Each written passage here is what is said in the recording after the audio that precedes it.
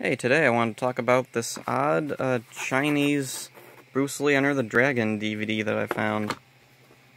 Now there's the American Warner Brothers DVD, and as you can see the covers are pretty close, they're almost identical, the only couple of differences are like little technical things like company logos, two disc set and blah blah blah. The image on here is a little bigger and it's a bit better colored than on the English one which is kind of washed out and blurry. The backs are also uh, very similar. Now there's a odd oddity here. Most spectacular, spectacular. Yeah, for some reason there's a space in the middle of the word spectacular. I don't know what that's all about. And there's the bonus features on the American DVD, and then on the Chinese one, it's pretty much the same thing, just no uh, English, Spanish, French subtitles, and then there's some stuff in Chinese. I don't know if that's technical information or more bonus features or what.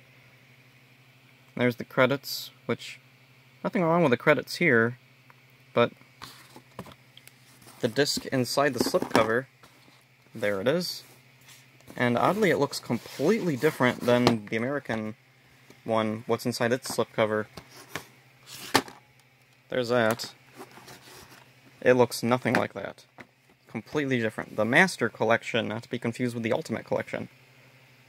So, really nothing too weird here. It's just Bruce Lee, Bruce Lee, Enter the Dragon, whatever that says in Chinese. I'm guessing Enter the Dragon. Then on the back, we have a description in Chinese, scene from the movie, another scene, then a description in English, which is pretty normal except for this one weird thing. Moment restored. Yeah, they combined two words together for some reason. And also, no possessive apostrophe in its. No period at the end of that sentence. Then we have some odd oddities in the uh, credits here. CD String. Yeah, instead of co-starring, it's CD String. With T introducing and then, let's see, the rest is, uh, it looks okay.